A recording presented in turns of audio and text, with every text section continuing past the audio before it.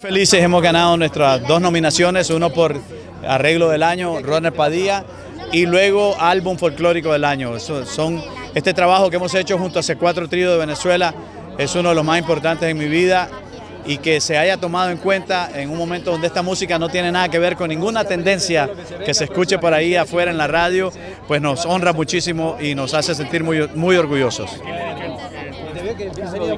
Bueno, en el caso de Venezuela y Nicaragua, a nuestros países, sobre todo a la diáspora tan enorme que se ha dado en los últimos tiempos desde Venezuela y desde Nicaragua posteriormente, a nuestra gente, en mi caso, a las madres de Abril, a las madres de todos esos chicos que han desaparecido, que ya no están con nosotros por la dictadura enorme que se está viendo en Nicaragua.